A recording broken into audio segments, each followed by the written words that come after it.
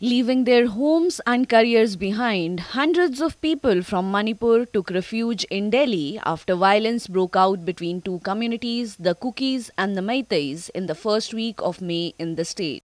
Memories of the trauma they faced are still fresh in their minds. We only heard the sound, okay, we cannot see them. It looks like hundreds of people, uh, people sound coming from afar, and then it's not very far from our house, like a few footsteps away. From there, they burned the church. They started burning the church. We can see a little bit far from our home also. We can see the fire.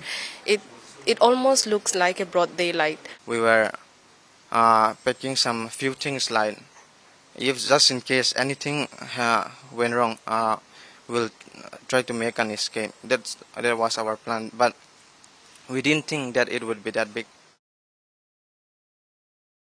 The refugees are grateful to Assam Rifles for rescuing them and in helping them leave Manipur safely.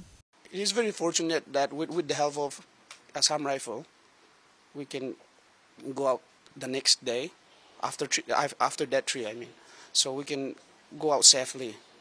And then like things were okay for a while. After they loot, things were okay. Even my daddy filed a complaint uh, to the uh, to the Churachandpur police station and then time goes on and then the tension was high again.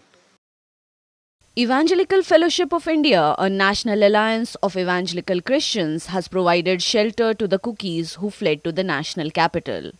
The shelter home has volunteers who come and cook food for the refugees. The EFI says that it is trying to help the refugees in whatever way they can.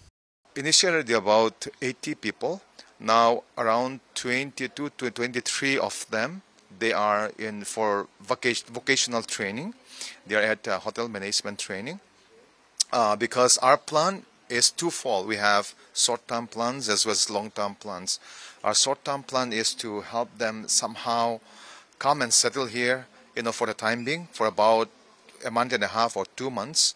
And the long-term plan is that we would also want to help the youths uh, maybe get whatever jobs that is available. It's very good, I should say. I give thanks to uh, the EFI volunteer who have provided this place, uh, which we never expected to be. Uh, I never expected to be that good in this uh, this center. So I really give thanks to the uh, the, the, the one who donate or the place.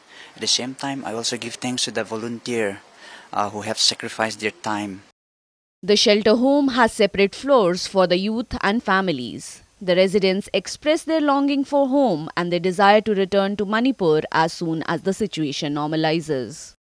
I want to go home, of course. That is where all my memories are. But then, even if I want to go home, there is no home again for us to go back to. Both Kukis and Meiteis have been affected by the violence, and sporadic incidents of clashes are still being reported from Manipur. According to official figures, over 80 people have been killed in the violence so far.